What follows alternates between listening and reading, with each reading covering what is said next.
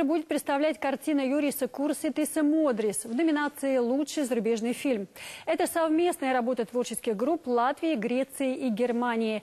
Есть ли шансы в Америке у латвийского кино? Об этом наш следующий материал.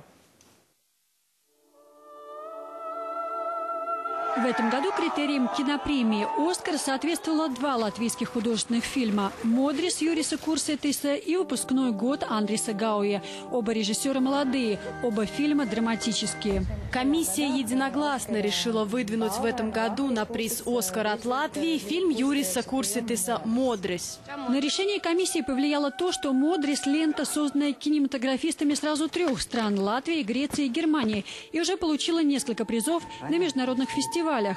Фильм основан на реальных событиях. Модрис – 17-летний подросток. Из-за пристрастия к азартным играм у него сложные отношения с матерью.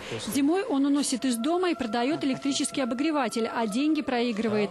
Чтобы перевоспитать сына, мать сдает его полиции. Этот фильм основан на документальной истории молодого парня, который, э, который принимает э, один удар судьбы за, друг, за другим.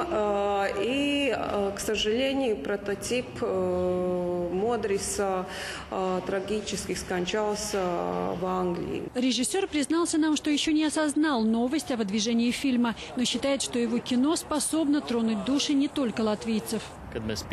Как мы растем, каковы наши отношения с родителями, с окружающими, мы все через это прошли, всем это близко, независимо от того, на каком языке мы говорим. Но «Модрис» не единственный фильм, который представит Латвию на «Оскаре». В США покажут также короткометражную ленту «Кастрат Боров» братьев Абеле. Вот это уникальный случай. Это никогда у нас не было, когда э, маленькая короткометражная картина, которая создавалась э, как студенческая работа в Академии культуры, она победила э, на Тамперском кинофестивале. И Тамперский кинофестиваль – один из тех кинофестивалей, который автоматически гарантирует возможность присутствовать в отборе на «Оскар». Латвийский фильм будет представлен на «Оскаре» уже восьмой раз. В прошлом году там показывали мультфильм «Камни в моих карманах». Чтобы фильм продвинулся дальше и получил номинацию, э, необходимо, чтобы члены Американской киноакадемии этот фильм посмотрели.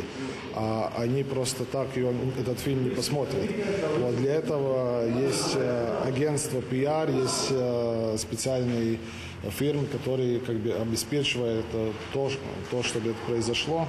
Реклама, аренда кинозалов, плакаты – все это стоит немалых денег, и пока Латвия выделять их не готова.